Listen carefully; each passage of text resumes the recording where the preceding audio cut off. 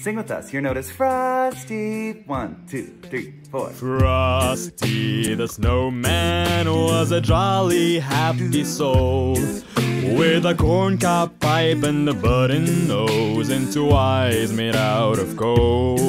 Oh, Frosty the snowman is a fairy tale, they say. He was made of snow, but the children know how he came to life one day. There must have been some magic in that old silk hat they found. For when they placed it on his head, he began to dance around. Da-dum-da.